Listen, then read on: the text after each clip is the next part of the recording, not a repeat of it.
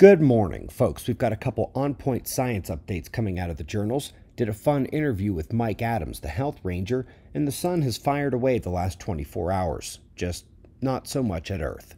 Several M flares and an X class event this morning. Pretty much without fail, all the activity is at the southern departing limb where that last sunspot group turned out of view. All of the CMEs are heading off the southern hemisphere, with that bottom right position having the largest and most frequent activity. It's amazing to watch this titan of an active region remain utterly stymied in solar flaring. One hopes it's not just building up its power while it faces Earth these next three days, and that it continues on its amazing gentle giant march across the Sun. We've got the US nitrogen dioxide maps up to 2021. They're aiming to show the incredible drop as regulations hit, and genuine attempts to clear this molecule obviously worked better than most others.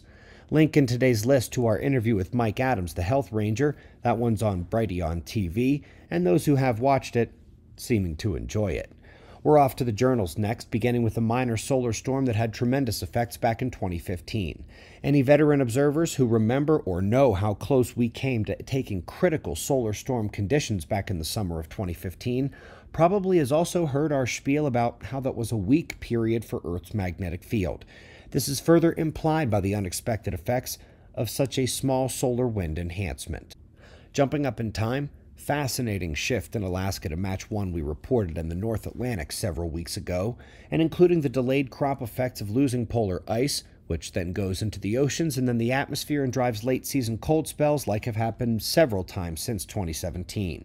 This is the start of major Heinrich like ice loss effects, speeding up faster and faster as we approach the end of the 6,000 year cycle. In the solar system, we've recently spent considerable amounts of time discussing the planetary changes, and Uranus as the top next priority to visit seems like a solid idea to me. That one or Saturn again. But anyway, quick update. Pre orders of the new book, those are still set to get out here at the end of the month.